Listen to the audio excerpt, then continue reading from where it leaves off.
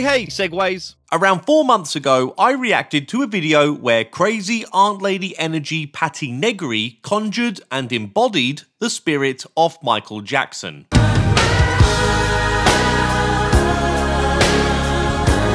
I had a lot of fun with this video. And it seems from reading the comments, many of you guys also had fun with this video. But Batty's antics were so ridiculous, so stupid, that it was surely a one-time thing, right? Ah.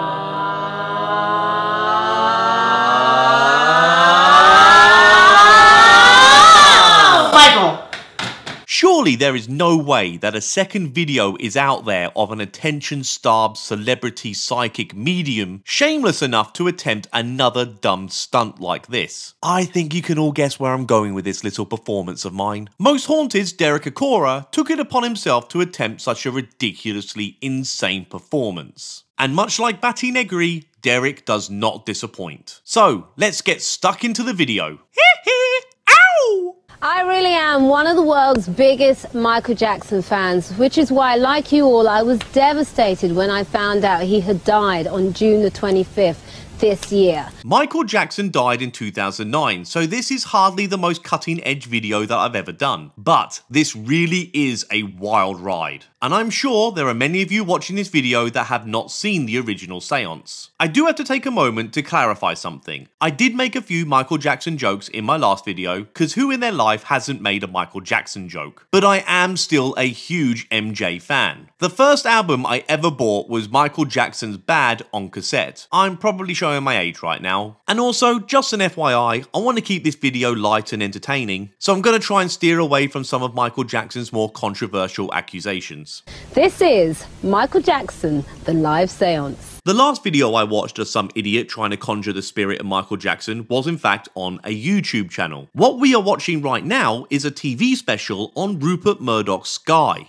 A lot of TV executives and producers would have had a hand in green lighting this absolute nonsense, so it made it on air. And I really need to stress this. This was a live broadcasting. This went out on live TV. And yes, I was still in the UK when this happened and I watched it live too. I haven't watched it since, so this is the first time me revisiting this since 2009. Now, I will be making fun of those who were involved in the show, but I also need to take a moment to acknowledge all of the idiots behind the scenes to make this disaster actually happen. Stupid, stupid, stupid, stupid, stupid, stupid. We are taking part in an incredible TV first. It ended up being the last. At least I hope it was. I had a quick look on Google and I couldn't find anyone else stupid enough to try this bullshit as we attempt to contact him one last time in a live seance with medium Derek Acorah. Derek Acorah died back in 2020. He is widely regarded as being one of the biggest fake psychic mediums. And honestly, when you see some of his performances on the show he's best known for, Most Haunted, I think you'd struggle to find anyone who thinks now or even back then that this guy wasn't just trolling all of us. Confrontation! Dude! Confrontation! Activity there with. Uh... You alright? Alright. Alright. Mary loves Dick. Mary loves Dick. Mary loves Dick. Take thy hand off me wench. No, you don't scare me. Come on, what's your surname? Oh, scuttle your legs. Oh, will you now?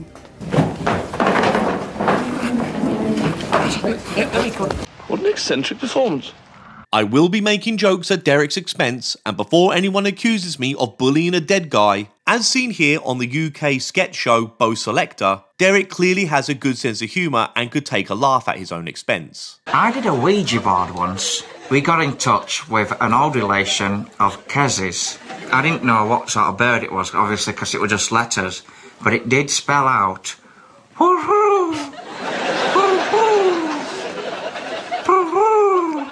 But suddenly, the changed into a horrible.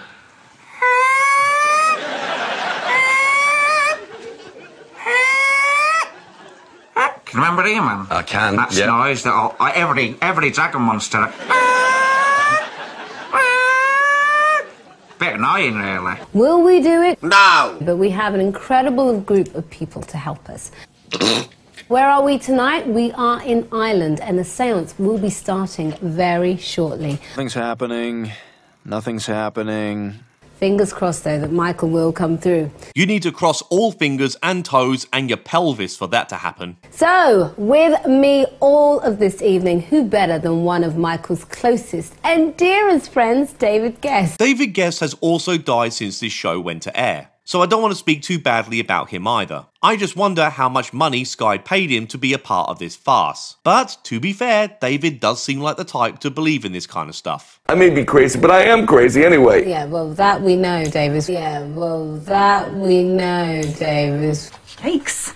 Yes, and even when I tour, I have little people on stage because they bring me good luck. And I believe in leprechauns too. Oh, well, then you've come to the right place. I'm here. I'm the leprechaun. Garth, I'm the leprechaun. So, what do you think Michael would have thought of what we're doing here tonight? They're ignorant. That's ignorant. Would he have thought we were crazy? Oh, oh, you crazy.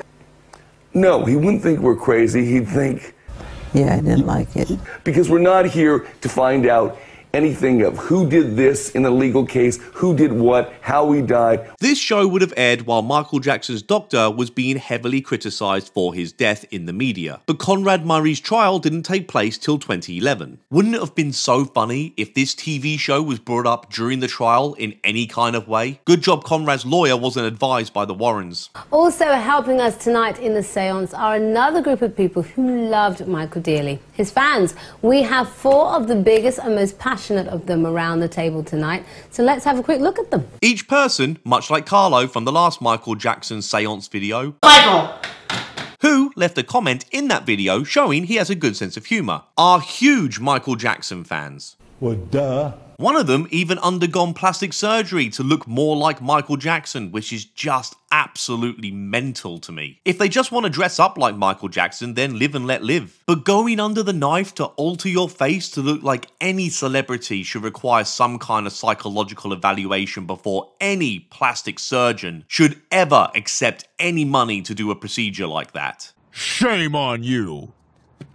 Anyway, Derek and the producers of this show, in my opinion, are exploiting all of these people. Because whereas Carlos had the look on his face that Patty was off her meds, Michael.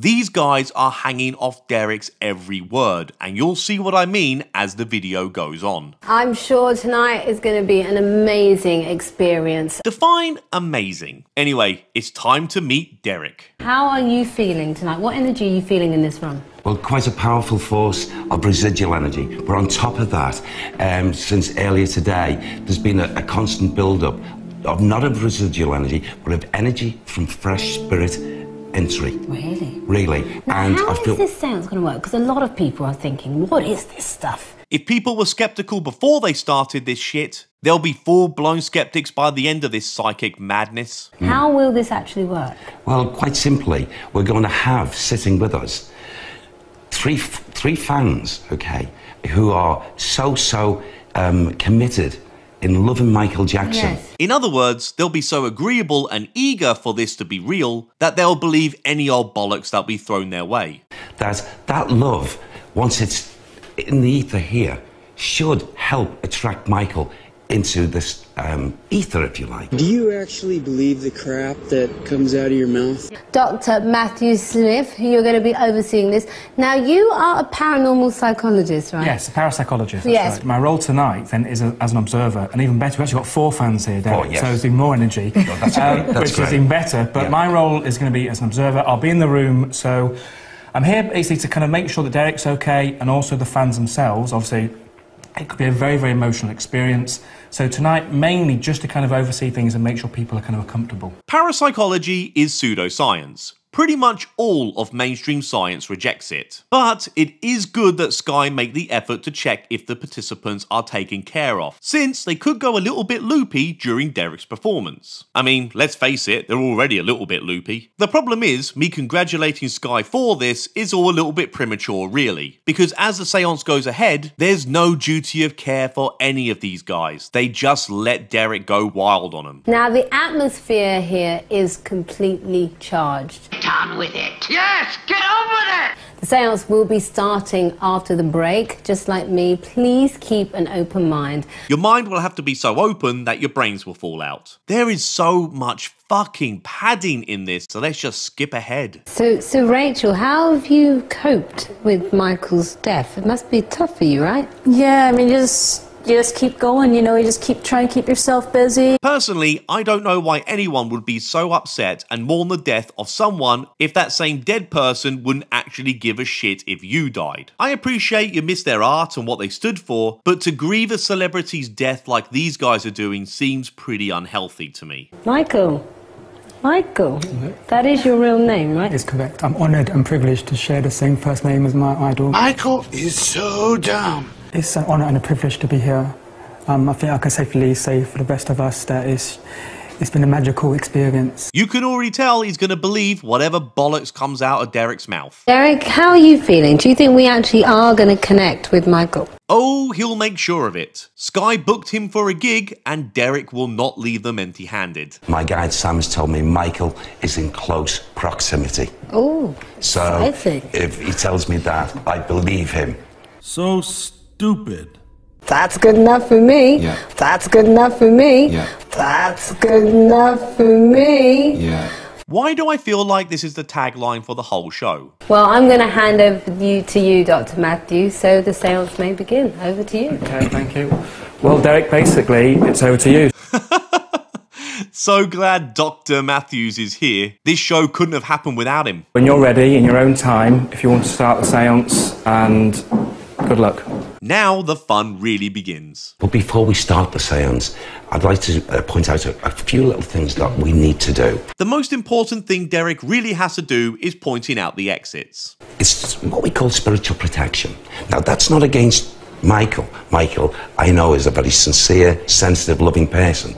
But it's outside Michael. In other words, influences that we don't want to come in. Like Martin Bashir's career? So it keeps it nice and clear for Michael and any other good spirit people that want to come and say hello to you. Hello! So if you just for a few moments close your eyes for me, please. And, you know, I ask the higher side of life to um, empower the energy of protection to flow over our heads, It's definitely going over their heads. over our shoulders, across our back, and to cover us completely against any negative force or energy that would like to come here to um, dishevel or cause any problems to our wanting a connection with Michael Jackson. What a fucking disgrace. Now, what I would like to talk about, if I may please, is this here, the hat, Michael's hat. Would you like to touch it, any of you? Take your stinking paws off me, you damn dirty ape! Now, the first thing that I want to say, I don't know what you're sensing, feeling. The first thing I want to say is I want to have this. This hat is here on the table, and this might sound bizarre, I think we can all agree that this is a very safe space for bizarre shit. but I feel as if this hat should be lofty. It's like as if it should be very high, and it's like flying, and it's flying, and it's flying, and then suddenly it descends and comes down and finds its rightful place. I honestly don't have a clue what he's talking about either. Why I get that, I don't know. But I feel something as if in, in like transition, is if the love of Michael goes and throws it high, lofty. And it has to come down like a fallen star. Twinkle, twinkle, little star, you should know how dumb you are. I just can't believe that's his hat. If you're already struggling to believe that this is Michael Jackson's hat, then good luck getting through the rest of this bollocks. It's got a presence in itself. Yeah. You, you can feel Michael's energy around it. Yeah. It is funny to me looking at a convincing Michael Jackson lookalike and hearing that accent coming out. You, you can feel Michael's energy around it. Yeah. I'm sitting with the man in the mirror. When this hat was being worn, can I tell you what emanates from this hat? Comes to my here, to my forehead, and it's as if um, whatever was causing this was causing like a mi- migraine type of um, effect. The hat wasn't doing it, but what when he wore it so many times, I don't even have to place it on my head to feel this pain, and the pain was in, in really, really bad at times. Um, so that is caused within the vibrations of this hat. With all due respect, what the fuck are you talking about? It's an exhilaration of energy, energy, energy. So Derek has started the seance. We need to go to a break. Going to a commercial break during the first of this kind of seance is just really funny to me. You know, it's like they're doing this real crazy stunt, but they still gotta make a couple of quid from the adverts. And something big happened during the break. Take a look at this. He's arranged himself here um, to um, talk. Um, his words. Damn, she has bought this hook, line, and sinker. He's thanking you, every one of you, for not just attending, for thinking for so long of coming here. So that's what happened during the break. So fucking nothing. Nothing happened at all. In the time they replayed that clip, plus June and David chatting in the studio, the seance is still going ahead and we're missing whatever's happening right now because this is all live. I mean, we're just missing bollocks at the end of the day, but still. Vera, Verna, Verna, she passed to this side only a young girl, youngster. Derek's off his meds again. He's trying to get a hang of this. He's trying to get a hang of this. I would have thought Patti Negri would have given him some practice. Michael! He's also said, okay, that he. yes, Shamone! yes, okay. Chick chick the moon! I'm going mad. Will someone say hello to Quincy Jones for me? Time to start cranking the tune. Did you hear that? This is just so stupid. You'll see Quincy. You say hello. Please? Hello, Quincy. Can we take a moment to appreciate how dumb this guy must have felt saying hello Quincy while looking Derek Acorah dead in the eye? You know, all he wants, all he wanted, still wants. Why? Why couldn't my request be granted? Why couldn't it be granted? Derek does this a lot. He says a lot of nonsensical things in the hopes that whoever is listening to Derek's bullshit just thinks it's all really deep and meaningful. But this lady really does seem to think what Derek is saying is important. She is all in, and to be serious for a moment, this level of deception is flat out disgusting. Derek is a professional ass talker, and this lady is noticeably upset by what she's hearing. And let's not forget that a huge TV network like Sky are heavily involved in this absolute bullshit. Derek, can you hear me? It's Matthew. Can is it? Will Michael answer questions? Can the fans ask Michael questions? This is Matthew saying, Derek, you're talking bollocks and boring the shit out of everyone. Let's hurry things along and get some questions from the fans. Yes, he would like. He would like this. He would like this. Fake, fake, fake, fake. Michael, do you have a question? Michael.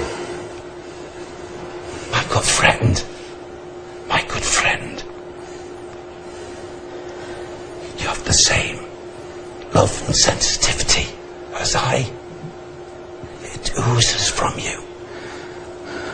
Please ask me. Please ask me.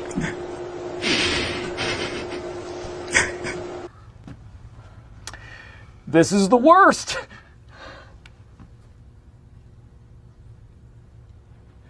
My friendship will always be alongside you. My friendship will always be strong. My friendship will never ever diminish. Friendship? Michael never knew the bloke. Thank you for constantly thinking of me. Your love will banish all the negative things that these people have said so wrongly about me. Well, this went from silly and funny to very, very disturbing very quickly. Michael, I love you so much. Do, do you realise how much I love you, Michael? I feel, I feel from your sincerity of love. It is paramount to me to receive that love. I love you also. I love you more, Michael. sorry, sorry. I know that is awful to laugh at, but his I love you more, Michael. is so funny to me. I love you more, Michael. My spiritual brother.